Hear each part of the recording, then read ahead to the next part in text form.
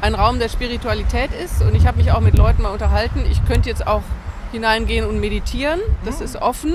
Okay. Und das hat mich sehr positiv, ja fast überrascht. Ich habe gedacht, ne, so hier sind die Muslimen und ihr seid andere. Nee, das ist sowas.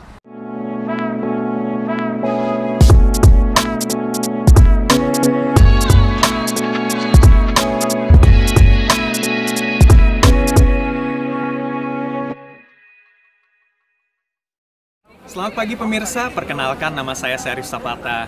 Di video kita kali ini, kita berada di kota Cologne, Jerman. Eh, kota Cologne adalah salah satu kota terbesar di Jerman dengan penduduknya yang lebih dari satu juta jiwa. Di belakang saya kita ada uh, Kölner Dom dan juga jembatan yang paling padat di Jerman. Dan em, di kota Cologne ini banyak sekali penduduk muslimnya karena pada eh, beberapa tahun yang lalu sempat berdatangan para imigran dari negara Turki untuk bekerja di kota ini. Ya udah, langsung aja kita lihat dan kita jalan-jalan ke kota Cologne.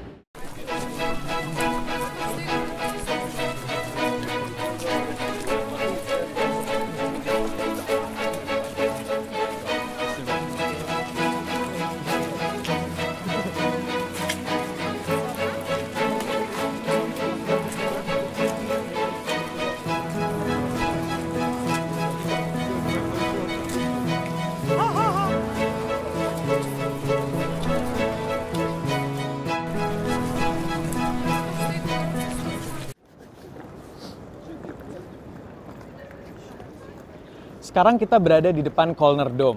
Jadi Kölner Dom ini adalah wajah paling terkenal dari kota Cologne.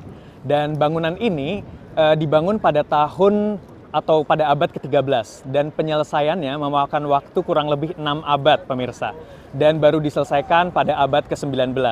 Dan pada saat selesai, bangunan ini sempat menjadi bangunan tertinggi di dunia. Dan yang uniknya juga, bangunan ini pada tahun 60-an pernah digunakan sebagai tempat perayaan Idul Fitri bagi imigran yang datang dari Turki. Jika kita mendekati kota Cologne, hal pertama yang tampak di mata kita adalah dua menara kembar dari Kölner Dom. Katedral yang tingginya mencapai 157 meter ini setiap harinya dikunjungi oleh 20 hingga 30 ribu pengunjung dari seluruh penjuru dunia.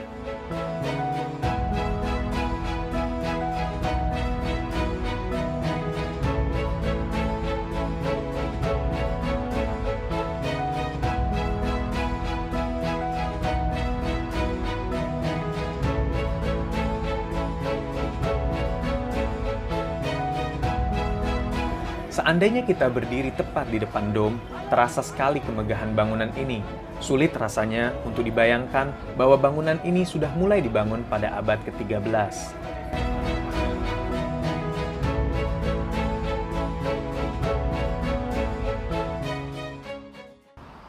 Baik pemirsa, sekarang kita sudah berada di depan Masjid Sentral Kota Cologne. Seperti yang pemirsa tahu, kota Cologne dulunya sering didatangi oleh para imigran dari negara Turki. Mereka datang ke sini untuk bekerja. Dan setelah beberapa generasi, akhirnya jumlah penduduk muslim di kota Cologne ini semakin besar. Sebagai buktinya adalah dengan dibangunnya Masjid Raya atau Masjid Sentral Kota Cologne di belakang saya ini. Masjid yang dibangun pada tahun 2009 ini awalnya sempat mendapatkan perlawanan dari penduduk kota Cologne. Beberapa kelompok masyarakat bahkan sempat turun ke jalan untuk memprotes pembangunan masjid ini. Masjid dengan menara azan setinggi 55 meter ini mampu menampung sekitar 1.200 jemaah.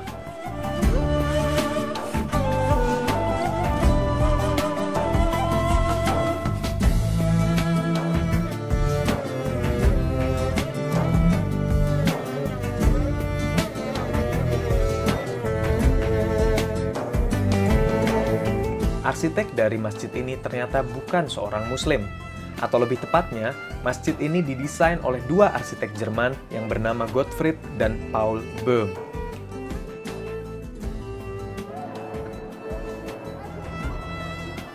Inilah suasana di dalam Masjid Sentral Kota Cologne ini, pemirsa. Dan seperti yang pemirsa bisa lihat, di sini banyak sekali pengunjungnya yang berdatangan untuk melihat eh, arsitektur di dalam masjid ini. Dan seperti yang pemirsa bisa lihat, eh, tempat untuk jamaah perempuan itu di atas sebelah sana dan di sebelah sini juga ada. Dan sekarang kita belum lagi menunggu eh, waktu sholat duhur. Masih kurang lebih setengah jam lagi masuk sholat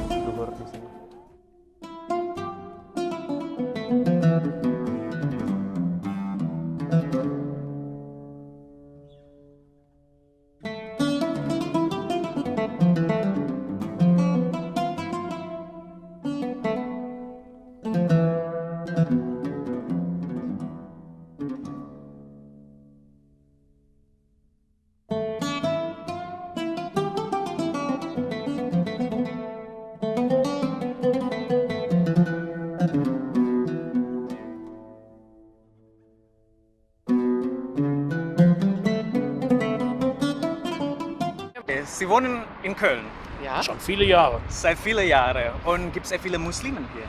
Ja, zunehmend mehr. Immer mehr. Immer mehr. Ja, okay. Oder jetzt sehen wir natürlich mehr, weil die Moschee hier ist, aber es waren immer schon viele Muslime hier und jetzt, Okay, Ja. und aber es gibt äh, kein Problem. nein, von unserer Ach. Seite nicht. Also Ja. Ich habe gehört, in Ja. Köln gab es ein bisschen äh, Demonstrationen gegen diesen Bau von dieser Moschee. es gab ursprünglich Widerstände, aber nicht von uns, aber Mhm. von einigen Mhm. Kölnern, Mhm. ich würde mal sagen, die aber eher auch rechtsorientiert sind. Mhm. Das hat man ja immer das Problem, äh, gab es Widerstände. Okay, aber nach dem Bau ist eigentlich wieder Ruhe quasi. Ich, ich denke mir, es hat sich vieles relativiert. Man wusste vorher Mhm. einfach viele Dinge nicht. Beispiel ist der Meduzin und ruft dort aus, am besten mit einem Lautsprecher über die ganze Stadt. Hört man sowas oder ist es nicht der Fall? Mhm. All solche Dinge wurden natürlich irgendwie verarbeitet und inzwischen hat sich das relativiert. Mhm. Gehört mit zum Kulturkreis. Köln war immer Schmelztiegel für viele Ja. Kulturen und Ja. nimmt das locker auf. Kein Thema. Okay. Und wohnen Sie hier in der Nähe? Ja, oder? wir sind zu Fuß gekommen. Wir Hört man eigentlich, hört man eigentlich Nein, ein bisschen nein, Gebetruf von... Nein, gar nicht. Nein, also gar wir haben nicht. uns eben noch darüber unterhalten, dass Aha. der Muezzin darf offensichtlich gar nicht rufen hier Ja, und man hört gar nichts. okay. Und ich, wir, äh, wir haben ja gesehen, dass Sie eigentlich Moschee gerade besucht Ja, haben. ja, ja. Und äh, was haben Sie gesehen oder was, was interessiert Sie? sich? Also ähm, ich fand es sehr beeindruckend, den Saal. Also sehr offen, sehr hell und eine freundliche Atmosphäre. Ich habe hier draußen nochmal gelesen auch, dass es ne, ein Raum der Spiritualität ist. Und ich habe mich auch mit Leuten mal unterhalten. Ich könnte jetzt auch hineingehen und meditieren. Das Mhm. ist offen. Okay. Und das hat mich sehr positiv, ja fast überrascht. Ich habe gedacht, ne, so hier sind die Muslimen und Mhm. ihr seid andere. Nee, das ist so was Verbindendes. Das fand ich sehr positiv. Also Es hat auch was typisch Kölsches. Mhm. Ne? Von außen gibt aus meiner Sicht der Bau wenig her. Ne? Mhm, Ich sag mal, manchmal sagt man sogar, erinnert fast an ein Atomkraftwerk. Ne? Genau, von vorne, ja. Ne? Guckt so und denkt so, das kann ja nicht viel werden. Mhm, Geht man aber rein, ändert sich die Perspektive vollständig. Ne? Und dann ist das ein sehr offener, wie man auch nur durch einen runden Bau eigentlich bewerkstelligen kann, freier Raum Okay. und wirkt dann auch sehr angenehm. Okay. Und das ist häufig in Köln. Ne? Man Ja. sieht außen eine relativ festliche Fas- Fassade. Mhm. Geht man aber in den Hinterhof, ne, dann denkt man sich gar nicht so schlecht hier. Okay. Ist es das erste Mal für Sie, in die Moschee zu Ja, sein? heute waren wir das erste Mal in der. war vor einem halben Jahr ist er eröffnet worden und wir waren heute das erste Mal jetzt. Aber anderswo waren Sie schon mal in einer Moschee? Ja, in Istanbul. Achso, okay. Das heißt, Sie, kennen eigentlich, Ja. wie das aussehen soll. Okay. Ja, das Ja, war's alles eigentlich. Ja. Vielen Dank. Prima. Dank. Viel Spaß. Danke. Tschüss. Oh ya pemirsa, kita sekarang juga lagi nunggu salah satu mahasiswi dari Indonesia yang tinggal di kota Kolon ini. Dan kita juga pengen nanya-nanya gimana sih kehidupan mahasiswi muslim yang tinggal di kota Kolon. Katanya sih dia tadi datang sebentar lagi, tapi saya coba cari dulu deh ya dia di mana.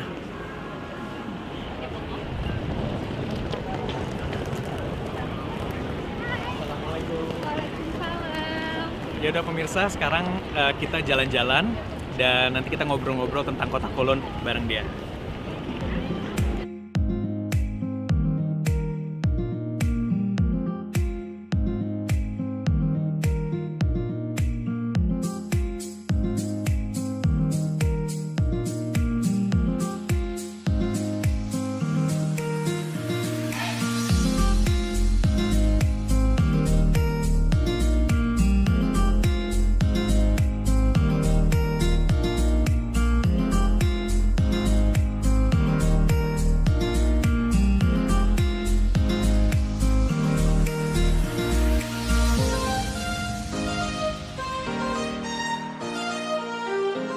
Jadi pemirsa, teman saya ini namanya Dea. Dea itu seorang mahasiswi yang tinggal di sini. Uh, Dea, bisa diceritain nggak? Jadi uh, Dea itu kuliah apa? Sekarang saya kuliah farmasi hmm. di Düsseldorf. Hmm. Udah semester berapa nih? Sekarang udah semester 7 Oke, okay. uh, bisa diceritain nggak? Uh, jadi Dea ini udah berapa lama tinggal di Jerman? Uh, tahun ini udah hampir lima tahun. Udah hampir lima tahun. Ya, oh, benar. udah lumayan juga ya pengalamannya ya. Ya lumayan Bisa lah. diceritain juga nggak? Jadi uh, aktivitas Dea itu selain kuliah apa aja? Selain kuliah, uh, kerja sampingan, hmm. terus juga ikut-ikut organisasi yang ada di sini, okay. organisasi kemahasiswaan kayak gitu. Oke, okay. ya udah berarti uh, nanti sekarang saya mau nanya-nanya sedikit boleh. tentang kehidupan Dea di sini ya. Oke, okay, boleh. Jadi awalnya tuh gimana? Uh, waktu kamu mutusin untuk, oh aku mau kuliah di Jerman gitu. Kenapa Jerman? Jadi uh, kenapa ke Jerman? Memang kan uh, letaknya Jerman itu strategis di Eropa. Uh, dia ada di tengah gitu. Hmm. Jadi menurutku uh, bagus aja di sini gitu. Selain ya di samping emang pendidikannya di sini bagus banget. Hmm. Ya itu salah satu jadi alasan kenapa milih ke Jerman. Terus uh, pas kamu bilang uh, kamu mau ke Jerman nih, itu orang tua khawatir nggak? Ada kepikiran nggak mereka uh, Jerman kan uh, Eropa gitu ya, ada pergaulan bebas dan segala macam. Ya betul banget. Waktu pertama kali ngomong ke orang tua kalau pengen lanjut kuliah ke sini, itu orang tua langsung kayak mikir nanti kamu di sana gimana sendirian. Kan hmm. Kan kamu tahu sendiri di sana nggak ada siapa-siapa, nggak ada mama, nggak ada papa, nggak ada keluarga hmm. gitu. Kamu yakin bisa jaga diri sendiri di sana hmm. gitu.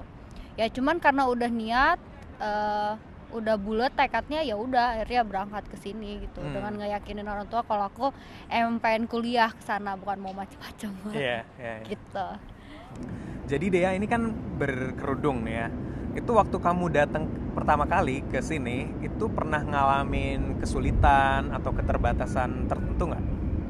Uh, kebetulan waktu pertama kali ke Jerman itu uh, aku belum berkerudung, hmm. jadi sekarang ini masih belajar berkerudung gitu. Okay. Tapi memang memutuskan berkerudung tuh pas udah di sini gitu. Baru pas ke sini gitu ya? ya? bener banget. Bukan pas di Indonesia. Menarik yeah. juga ya. Jadi uh, keberadaan kamu di Jerman ini malah membuat kamu mem uh, memutuskan untuk berjilbab yeah, gitu ya. Justru malah yakin gitu hmm. kalau emang aku harus berjilbab gitu di sini. Oke. Okay. Terus uh, dengan ibadah itu gimana? Susah nggak nyari masjid di kota Kolon ini? Uh, kalau buat ibadah kan nggak harus di masjid ya hmm. kita beribadah itu uh, menurutku di mana ada di mana aja bisa gitu yeah. di kampus juga disediain tempat oh, ya? sholat okay. ya memang bukan musola yang kayak kita biasa ketemuin di Indonesia gitu hmm. memang tempatnya itu nggak uh, cuma buat orang muslim gitu tapi buat agama-agama lain ibadah di sana gitu okay. jadi uh, ya tempatnya seadanya ruangan biasa hmm. yang di sana boleh dipakai buat sholat gitu okay Terus gimana dengan makanan halal misalnya? Nah, untuk makanan halal sendiri uh, di sini memang agak sulit untuk menemui restoran yang punya label halal. Hmm. Cuman uh, kalau kita uh, mau makannya itu yang pasti halal, kita bisa masak sendiri dan beli misalnya daging-dagingan di toko Turki misalkan hmm. kan. Di situ memang mereka udah ada label halalnya, jadi dijamin pasti halal, halal ya? daging-dagingnya. Ya? Cuman kalau di restoran uh, kalau aku sih antara enggak makan daging sama sekali atau ya lebih memilih vegetarian okay. sayur-sayuran gitu supaya lebih aman berarti kalau kamu lagi jalan-jalan sama teman-teman yang asli orang sini kamu makan di restoran milihnya yang lebih vegetarian gitu ya. ya. Terus selama dia tinggal di sini pernah nggak sih ngalamin hal-hal yang kurang mengenakan? Uh, kalau mengalami secara langsung belum pernah alhamdulillah hmm. uh, malah justru menjadi keuntungan karena sekarang aku berkerudung kan hmm. jadi misal kalau aku pesan makanan yang di situ aku nggak tahu di ada uh, sesuatu kayak apa produk babi hmm. atau seperti itu hmm. jadi mereka yang langsung kasih tahu karena hmm. melihat kan aku pakai kerudung pasti aku muslim gitu yeah. jadi mereka langsung kasih tahu oh di sini ada babinya jangan beli yang ini gitu oh. jadi itu jadi keuntungan tersendiri gitu asik juga ya jadi mereka bahkan membantu kamu gitu ya iya benar oke okay. uh, eh, mungkin pertanyaan terakhir kamu ada nggak tips buat calon mahasiswi dari Indonesia yang mau kuliah ke Jerman ini Ya ada. Khususnya yang pakai jilbab tentunya ya. Um, kalau dari aku sendiri sih uh, kalau mau ke sini yang udah berkerudung lebih baik bawa kerudung dari Indonesia deh yang banyak soalnya di sini Oke. agak susah kan cari kerudung jadi lebih baik bawa dari Indonesia banyak-banyak Banyak pilihan gitu iya ya. benar Oke. Ya, terima kasih Dea udah bantu perta- apa jawab pertanyaan-pertanyaan yang ada sama-sama dan sekarang kita jalan lagi ke mana boleh nih? kita lihat-lihat di sekitar sini bisa ke Alstad ke kota tuanya Ke kota tua di Köln ya. kita lihat-lihat kafenya mungkin ada makanan yang bisa Oke deh. Ya udah yuk kita jalan-jalan Yuk. lagi yuk.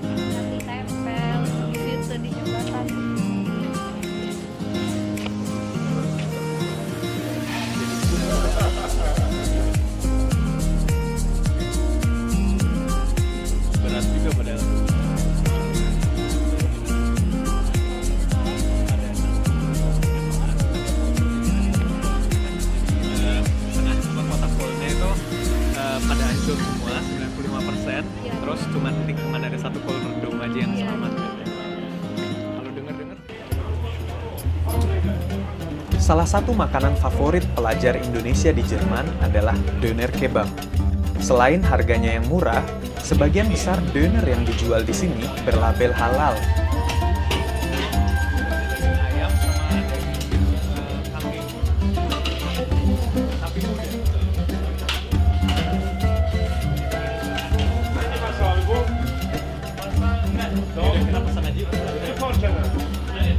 Doner sendiri sebenarnya adalah sandwich yang berisi daging kebab, salad, serta saus yang bervariasi.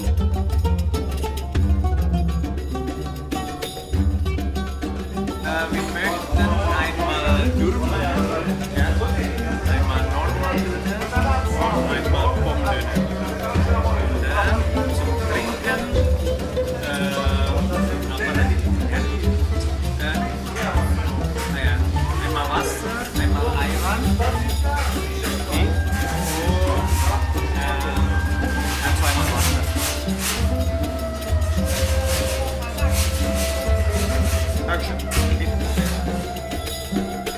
Kabarnya, fast food ini pertama kali dibuat di Berlin oleh imigran Turki pada awal tahun 70-an. Penyebaran doner begitu pesat, dan saat ini doner bisa ditemui hampir di seluruh penjuru Eropa. Jadi buat kalian yang ingin berlibur ke sini, tidak perlu khawatir mencari makanan halal.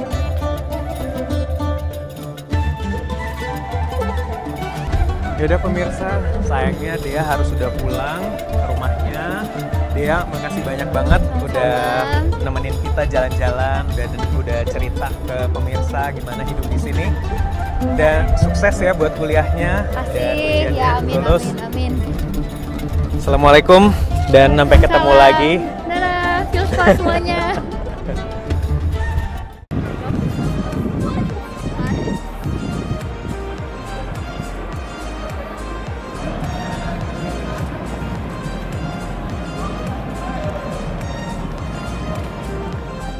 Baiklah pemirsa, sekarang saya sudah ada di stasiun Kota Kolon dan sudah waktunya saya pulang ke kota di mana tempat saya tinggal.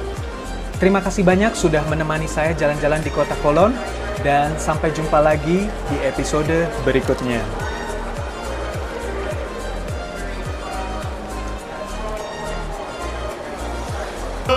샤라